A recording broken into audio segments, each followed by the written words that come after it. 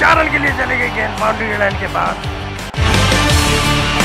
और ये run out लगता है वैसे नशे में दौड़ रहे थे। यहाँ लगता है फील्डर को नींद आ रही है, लेकिन बहुत अच्छी फील्डिंग रन रोकने में कामयाब। और ये बैट्समैन एक खरे खरे चक्कर पहन लिया।